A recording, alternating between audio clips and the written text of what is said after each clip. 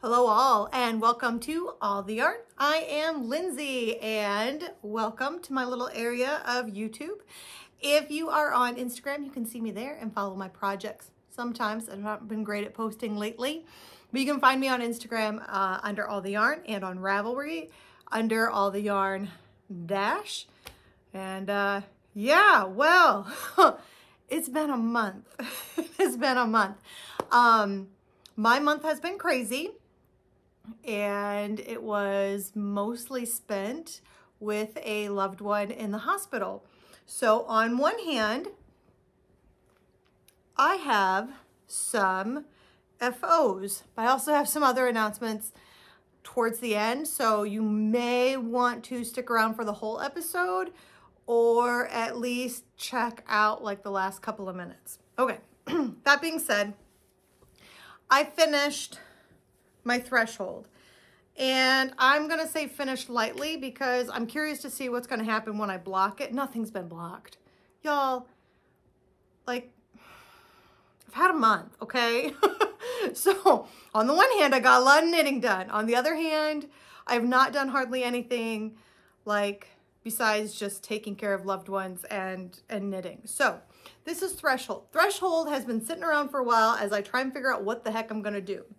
Now what I did do was, I was starting to bind this off, if you remember, which I could not remember because this has been sitting around for months and months and months. But I had started binding this off and it was curling real bad. Oh, look, it still is. I went down three needle sizes. Do you hear that?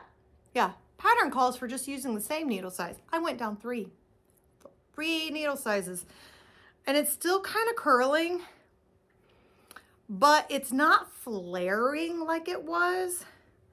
Like the bottom is still flaring and I, I'm gonna see what blocking does. So I redid all of the, the ribbing here in a needle that was three sizes too small. Oh, it's a kind of appropriate that we're doing this because that's the size of the Grinch's heart. And I'm gonna block the crap out of it, see what happens. If I cannot get this curling fixed, I don't even know. I don't even know, but maybe it'll just be a house, uh, like a sweater I wear around the house, but I am done. It is like the knitting is done. I'm gonna block the crap out of it. I will post an update on did that fix it. Now, blocking fixes lots of things, but we'll see. So threshold is an Alicia Plummer pattern. I did the whole pattern because I love this spine that goes down the back. And I used deep, deep stash. This is a Mineville Wool DK in Field Mouse. And I, it'll probably show up on camera, maybe, eh, kinda. Um, obviously, I, I tried to stripe the colors as much as possible because there's definitely a change between the top and the bottom.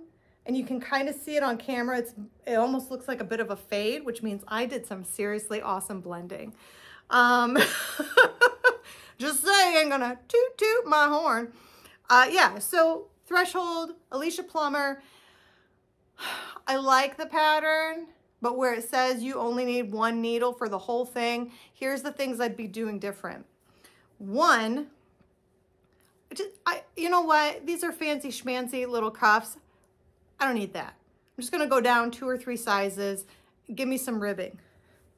Same thing with the bottom edge. Now, granted, part of this is my fault because I was playing some yarn chicken and I didn't think I had enough for two inches, which I didn't do two inches, so I did like an inch and a half again, go down two or three needle sizes and just do some ribbing because that whole use the same needle size as what you did up here and it's it's going to be fine. Mm -mm. Mm yeah, same thing with use the same needle size for this jazz. Nope, nope. So basically on places like the this, the collar band, the cuffs, the garter, or the band at the bottom, I'd go down needle sizes and just do ribbing. That's what I would do differently if I were to do it again. I'm curious to see what this ends up looking like because I'm really sad that it's not exactly what I wanted. Not sad enough to rip out the whole thing and start over. Not that sad at all. but sad enough that maybe I'll try again with like a different color. And maybe I have kind of thought that I, I wish I would have made it a little bit longer. So I don't hate the pattern, but there's some things I'd be doing differently. Anyway,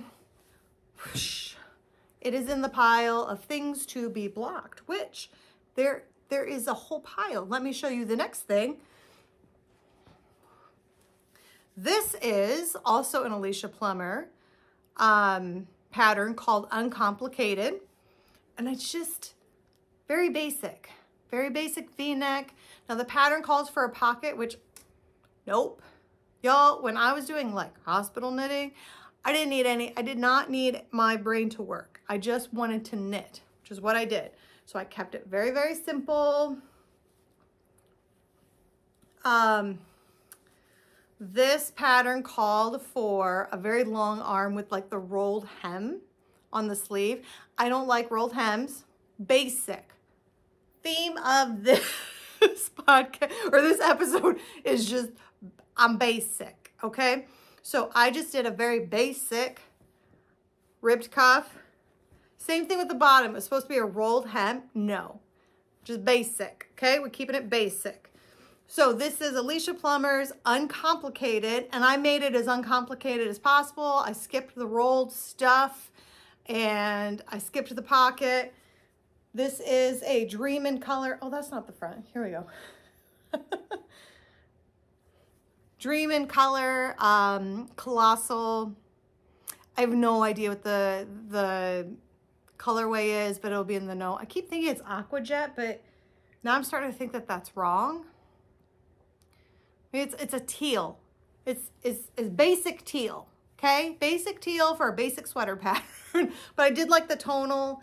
I did not like, I did not helical knit or, I mean, when one thing was done, I just started the next thing, which you're asking for problems when you do that with hand-dyed yarn. I know that, but it, it worked out this time. Heavens aligned.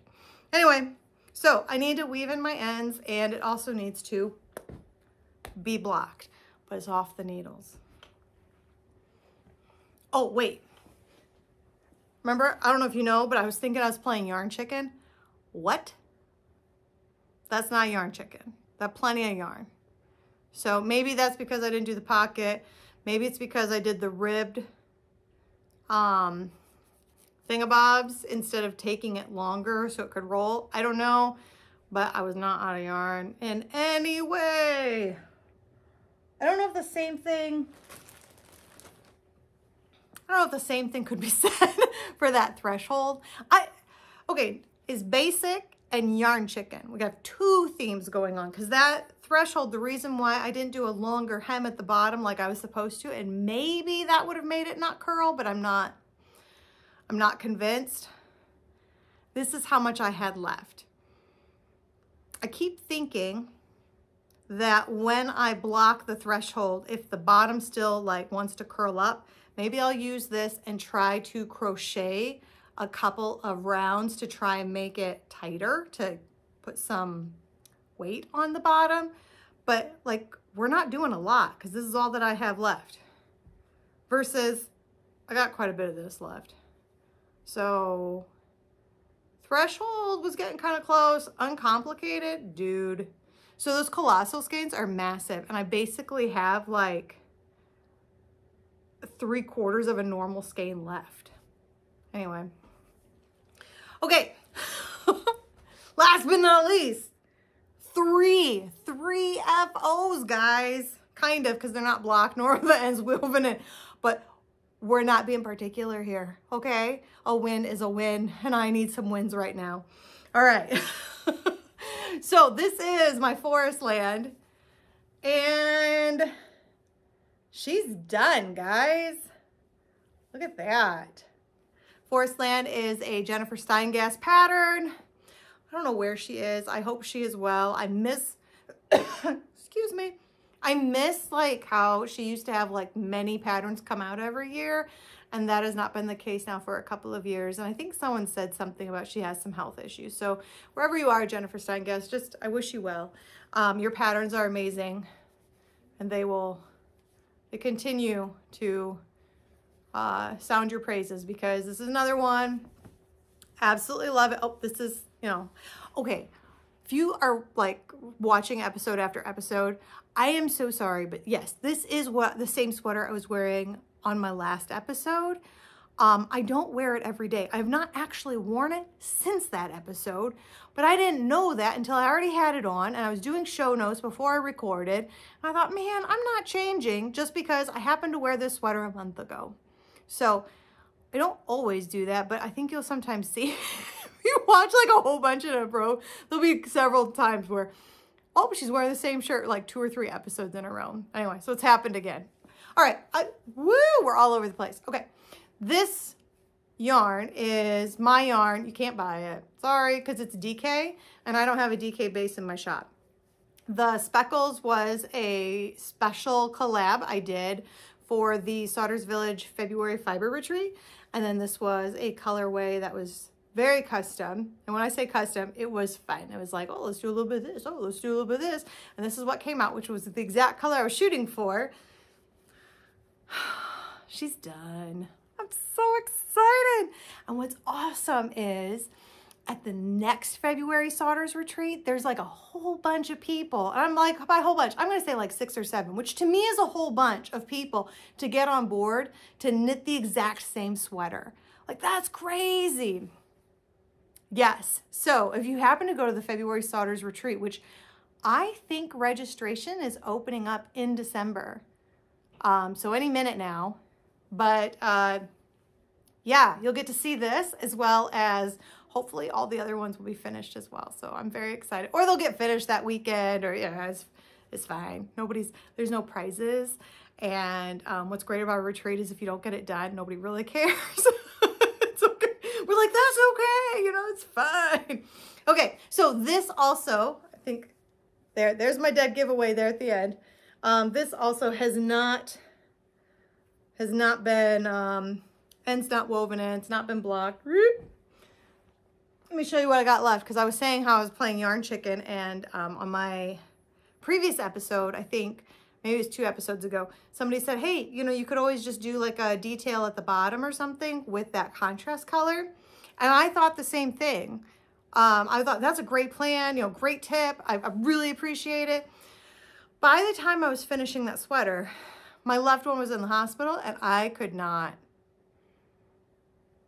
could not. Like, I can't think how to modify unless the modification is easier than what the pattern calls for. Like I cannot. So this is what I have left. Look at that.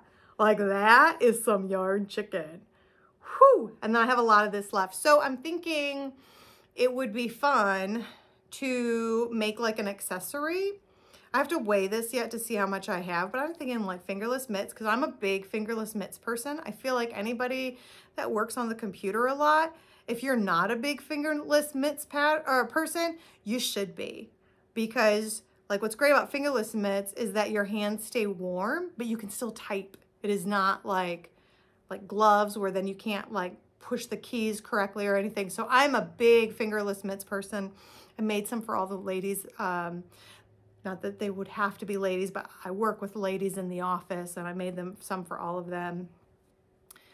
One of them, their dog got to them and she's like, I'd really like you to make me some more. And I'm thinking, if you're not going to keep these away from your dog, yeah, I don't think so.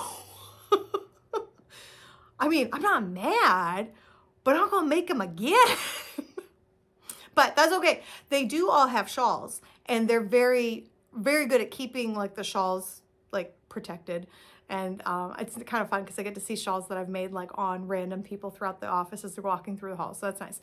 But I digress. Anyway, beep, this is all I have left of my super special blue colorway that I made. And then I have quite a bit left of this. So I think I've got enough for an accessory. I just got to figure out what I'm going to make with this. I have no deadline for that. No timeline, no anything. But I really like this yarn. And what was both fun and an, I'm going to say annoying about using this as the contrast color is how many times the, the pops of color were on a float and not part of the, the design, the motif. And so I really want to do something with this where I get to see the pops of color like stand out. So we'll see what happens, but I'm sure I've got enough for something. And I know um, a couple of the other people that were making that sweater using this as their um, contrast color, they had extra left over too. And they're like, hey, if you need some, let us know. And so I might pull, I might take them up on that offer. We'll see, we'll see. Uh, if you're, you're one of those people and you're like, oh, hey, I'll just give it to her. You don't have to, it's okay. Like, let me, let me focus on everything else first. I love how sometimes you say that and like yarn just like shows up. Our fiber friend's the best. Oh my gosh. Okay, I have one FO that I started and this was this was not the right FO to start but I had run home from the hospital to um, I was, I was finishing these sweaters and I was like, oh my gosh, I'm out of things to do. What am I to do? So I picked what I thought was to be a fairly like okay pattern. And I grabbed some stash yarn and I cast on a sweater. Guys, look, look at the freaking detailing and cable on this. Like, it's gorgeous, don't get me wrong, but this is not garter or stockinette knitting. I don't, I don't know if it was good because it distracted me from other things.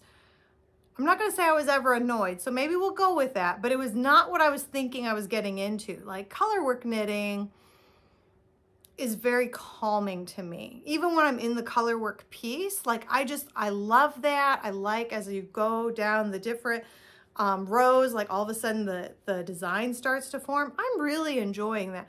So somehow I thought that this yoked sweater that is more of a cable knit was gonna give me that same rush of good feelings. Okay, that's not happening. I'm not getting the rush of good feelings, but I'm also not annoyed or frustrated. So, I mean, that's okay, right? It's a great pattern. I'm just talking, and don't get me wrong, this is Unwind, I believe this is Unwind Knit Designs. Um, I'll clarify that in the show notes. The pattern, the pattern is evolving. And, oh, I got the, the yarn right here. The yarn is um, Dream in Color Colossal Socks. And it is, the colorway is Rabbit Ears. So it's, I don't know, if, well, you can kind of tell. It's just got this really crazy, like just a hint of color. There is just a hint of like a bluey, sagey, something or other and then a little bit of gray. It's just, just a just just a kiss of it. And I really actually like how it shows up. Okay, yeah, you can kind of see it here. Like it's just like it's it shows up as just a little bit of a shadow here. Oh, that's inside out. All right, here we go. Shows up as just like a little, like there's a little bit of a shadow going across here.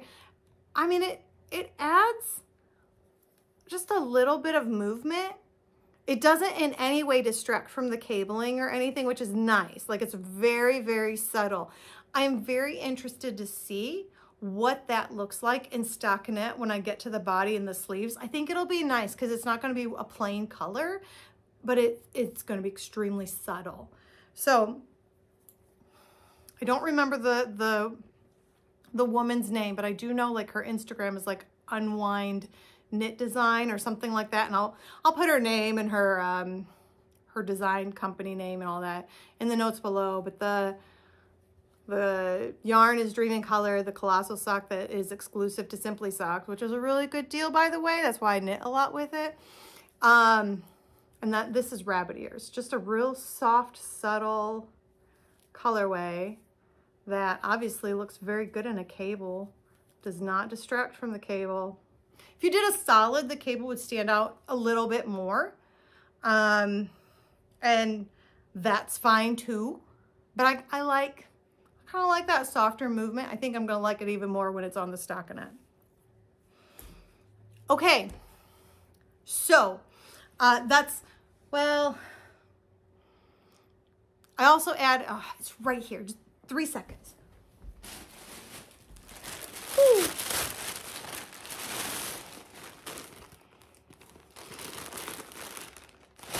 Okay, I did one other thing. Since I'm here, we're talking about it. The other thing I did, I've not broken this out for a long time. Um, this was all the headspace I had, or this was the only thing I had headspace for for a while. Okay. I just added, oh my gosh, see if I can remember now. Um, let's see. I think I did this square, this square, this one and this one. Whoops, whoopsie daisies. I did this guy, this guy, this guy, this guy, this guy, and this guy. So just one, two, three, four, five, six, seven, eight, nine, ten. Yeah, I added 10 squares to this. I would have kept going, but then I realized, okay, do you recall two seconds ago I said I have not pulled this out for a long time. I've not done a lot. Well, I realized somewhere around my ninth or 10th square that my squares that I, I was doing were just a little bit bigger, just a little bit looser than my previous squares. So I thought rather than going on, um, I will stop on this until I can go down one needle size and see if that makes all the difference. So I absolutely believe at some point I probably borrowed a needle and like didn't return it. And then I just guessed at what needle size I was using. That sounds like me. Totally, totally sounds like me. So I'm gonna try and go down a needle size before I, uh, and then I think I'm gonna do one square just to see if that, and it's, it's not a big difference. It could just be I'm a looser knitter now than when I started this because I started this a long time ago. Um, but it's, it's like, it's enough that I see it. And I think only like experienced knitters are to see it, but it's there. So it could just be a gauge change. Maybe it is the right needle, but I mean, my, my gauge is different. So I want to try going down just a little bit of a needle size and see if that makes the difference to bringing the squares back to where they were. Um, I will say that I, I lovingly call this my 50 years blanket because I have no intention of finishing this. I have this blanket specifically for the times that I just went through where I have, I have no mental capacity for anything. And yet I need to do something. And so this is great for that. I just pull it out. I have scrap yarn already with it and just go. And it doesn't matter what colors I'm picking up. I don't care if, well, now you've got like, you know, four things of orange really close together. That's okay. You can't do this wrong because the whole point of this blanket is not the finished project. The whole point of this blanket is I have knitting that I can go to when I can't even think what knitting I want to grab. You know, it's just, it's sometimes like things are fine. Sometimes I just, you know, I finish a project. I don't know what other project I want to do. I haven't cast anything on. I don't want to work on anything that I've been doing. Just grab this and do, it's like maybe I use it as a palate cleanse, you know? So this is my 50 years blanket and it gets pulled out whenever it does. I just add some squares to it. So yeah, I did add 10 squares a lot of knitting time this uh, last month, some a lot of unexpected knitting time. Uh, that being said, this is the part where I told you guys hang on to the end. Okay, so I apologize. It took me a little longer to get here than I thought it was going to be. Um, I have a lot more family demands on me coming out of this last month than what I previously had. And I need to clear my plate off a little bit. And so that being said, um, I know I've never talked a whole bunch about Linden Wool on this um, on this channel because I kind of got tired of other, like every time I'd listen to like a podcast or a YouTube episode, you know, yarny or crafty kind of episode or whatever, it was always all about, oh, here's our enabling, you know, here's this, here's this. And I'm, it's fine, it's fine. But um, I got tired that there was always that going on. I didn't want to be enabled. So I thought, well, I'll do this and not bring that up, you know. I'm going to break, I'm going to break that rule one time because guys, I, I've got to say goodbye to Linden Wool. So since you're watching this, uh, I'm going to give you guys a heads up on a 30% off code to my Etsy shop. The code is FAMILY, F-A-M-I, F-A-M-I-L-Y, and that'll get you 30% off anything in the shop. This is the majority of the shop. I've been slowly bringing it down um, at one point I had a lot more than this, but I've been slowly bringing down my inventory anyway. And uh, it is it is time to be done. So now through the end of December 31st, 2023, if you use the code FAMILY, you can get 30% off in my Etsy show, in my Etsy store. Um, I'm I'm thinking right now the plan is to just close it down January 1st and be done. Um, I don't know, then knit my own yarn. Who knows? Hopefully there won't be a ton left, but if there is, that's okay. It's not like my stash can't absorb it, right? so anyway, um, God, I hope that wasn't inappropriate. Was that inappropriate? Ugh. I don't know. Anyway, so Linden Wool is going to go goodbye um, at the end of the year. And for my YouTube people, you guys get uh, first dibs at the the coupon code. I will eventually post it on my Instagram. So if there's something you want, you want first dibs, grab it now before I post it on Instagram and then other people like find out that there's a 30% off coupon code. Okay, guys, that being said, it has been a month. I am glad to be home. I am glad that my family member is healthier, um, but they still kind of have a process to go through and I am going to be there with them for that journey. So that being said, uh, thank you for joining me. Um, I apologize if I should have edited this video, but I didn't. I'm just gonna one shot and pop it up. So you guys all take care. Have wonderful holidays and stay safe. And uh, I hope you guys all have um, a great month. Talk to you later. Bye.